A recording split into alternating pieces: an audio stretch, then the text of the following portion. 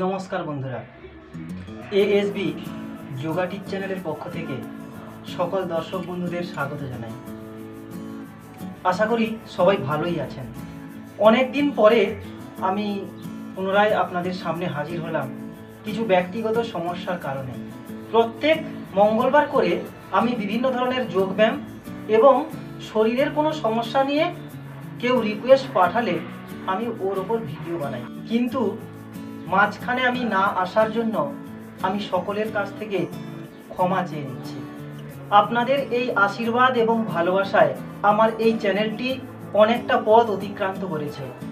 আমাকে একজন দর্শক বন্ধু রিকোয়েস্ট পাঠিয়েছিলেন যে ত্রিকোণাসন আসনটি কীভাবে করতে হবে সেটা যদি ভিডিও সহকারে দেখান এবং এর উপকারিতা সম্পর্কে যদি একটু বিস্তারিতভাবে আলোচনা করেন, তাহলে খুব উপকৃত হব।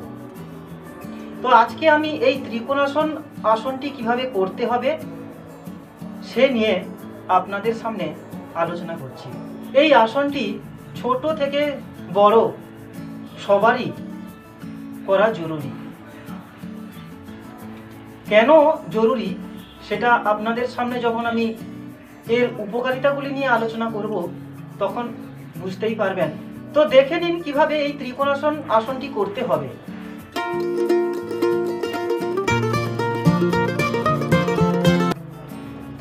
ত্রিকোণাসন অর্থাৎ এই আসনটি দেখতে অনেকটা ত্রিভুজের মতো।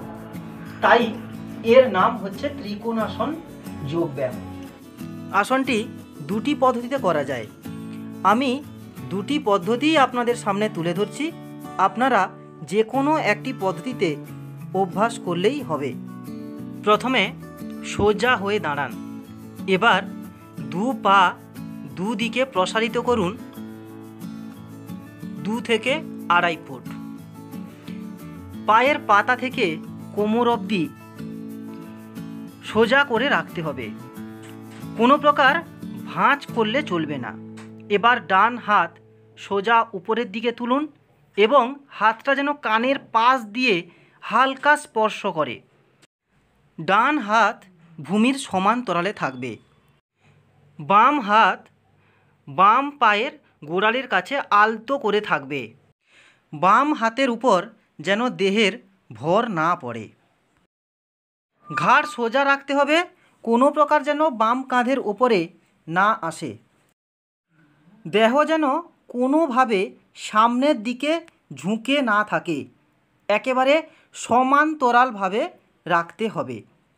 এবার আস্তে আস্তে করে সোজা হয়ে হাত দুখানি দুপাশে রাখুন। আবার পুনরায় পা দুখানি দু থেকে আড়াই ফুট প্রসারিত করুন। এবার বাম হাত সোজা উপরের দিকে তুলুন।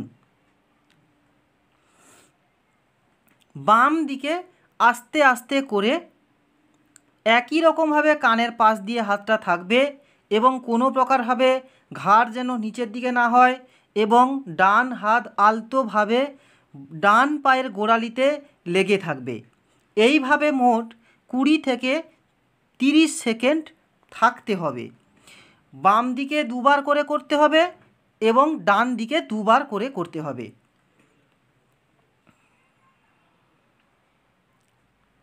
এরপর সোজা হয়ে দাঁড়ান। এই প্রক্রিয়ায় আপনি করতে পারেন। আবার আরেকটি প্রক্রিয়া আপনাদের দেখাচ্ছি। কীভাবে করতে হবে? দু পা দুদিকে প্রসারিত করুন।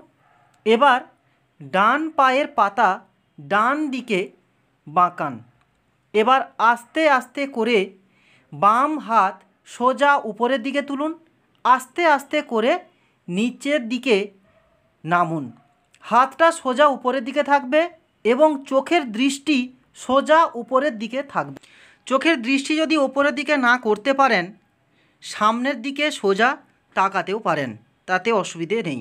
ঘাড় নিচের দিকে এইভাবে বাঁকানো যাবে না, গোটা শরীর ভূমির সমান্তরালে রাখতে হবে। এইভাবে কুড়ি থেকে তিরিশ সেকেন্ড করে করতে হবে। এবার আস্তে আস্তে করে সোজা হয়ে নিন এবং পায়ের পাতাও সোজা করে নিন। আবার সোজা হয়ে দাঁড়ান। এবার কিছুক্ষণ দাঁড়ানোর পরে আবার দু পা দুদিকে প্রসারিত করুন এবং বাম দিকের পায়ের পাতা বাম দিকে বাঁকান এবং আস্তে আস্তে করে একই রকমভাবে হাত সোজা যেন না হয়, হাতটাকে সোজা উপরের দিকে করতে পারেন বা সাম বডি যেন সামনের দিকে না আসে এবং ঘাটটাও যেন না বাঁকে। এইভাবে করবেন। এবার এক্ষেত্রেও কুড়ি থেকে তিরিশ সেকেন্ড করতে হবে। শ্বাস প্রশ্বাস স্বাভাবিকভাবে রাখবেন।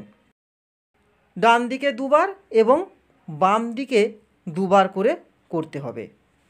সুতরাং দেখলেন কীভাবে এই ত্রিকোণাসন যোগব্যায়ামটি করতে হবে।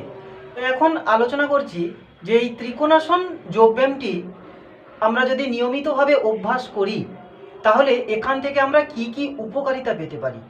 আমরা এই যে সাধারণত যে সমস্ত কাজকর্ম বা চলাফেরা করি, সাধারণত সামনের দিকে ঝুঁকে বেশিরভাগ কাজকর্ম করে থাকি। কিন্তু কোমরের দুপাশে বেঁকে কোনো কাজ আমরা করি না। তো সেক্ষেত্রে এই ত্রিকোণাসন যোগব্যায়ামটি অভ্যাস করলে কোমরের দুপাশে, এই কোমরের দুপাশে যে অতিরিক্ত মেদ আছে যাদের অতিরিক্ত মেদ আছে এই কোমরের দুপাশে বলুন কিংবা এই ঘাড়ে বলুন, যাদের অতিরিক্ত মেদ থাকে বা অতিরিক্ত মেদের ফলে দেখা যায় অতিপুষ্টি, দেখবেন চামড়াগুলো ফেটে যায়। চামড়াগুলো যাদের ফেটে গেছে, তো তাদের ক্ষেত্রে এই আসনটি খুবই জরুরি। কারণ এই আসনটি করার ফলে বেশ চাপ পড়ে। এই কোমরের দুপাশে প্রচুর চাপ পড়ে এবং ঘাড় এবং পিঠের এই কাঁধের সাইডটায় চাপ পড়ার ফলে অতিরিক্ত চর্বি দূরীভূত হয়। আর এর ফলে আমাদের শরীরের গঠন যেমন খুব সুন্দর হয়, সেমনি সুঠাম দেহ তৈরি হয়। এই ত্রিকোণাসন যোগব্যায়ামটি করার ফলে শরীরের এই দুপাশে যে সমস্ত স্নায়ুগুলি আছে বা এই কাঁধ বলুন, এগুলোতে যে সমস্ত স্নায়ুগুলো আছে, সেগুলো বেশ সক্রিয় হয়ে ওঠে। মেরুদণ্ড সবল এবং নমনীয় হয়। পিঠ, ঘাড় এবং কাঁধের আড়ষ্ট ভাব মানে একটা দুর্বলতা লক্ষ্য করা যায়। সবসময় এইভাবে বেঁকে আমরা বসার চেষ্টা করি। সোজাভাবে বেশিক্ষণ বসে থাকতে পারি না। এই সমস্ত যে আড়ষ্ট ভাবগুলো থাকে, যে অলসতাগুলি থাকে, সেগুলি দূরীভূত হয়ে যায়। লিভার, প্লিহা এবং প্যানক্রিয়াসের কাজ ভালো হয়। আর এর ফলে হজম ক্ষমতা বৃদ্ধি পাওয়ার ফলে যে কোনো খাবার খুব তাড়াতাড়ি হজম হয়। আর খাবার হজম হওয়া মানেই আপনারা বুঝতেই পারছেন পেটের সমস্যাগুলি থেকে আপনারা দূরে থাকতে পারবেন। যেমন পেটের গ্যাস অম্বল হওয়া, এই সমস্ত রোগগুলি থেকে আপনারা চিরতরে মুক্তি পাবেন। তো বন্ধুরা, আশা করি আমি আপনাদেরকে এই ত্রিকোণাসন যোগাসনটি কীভাবে করতে হবে এবং এর উপকারিতা সম্পর্কে বিস্তারিতভাবে আলোচনা করলাম।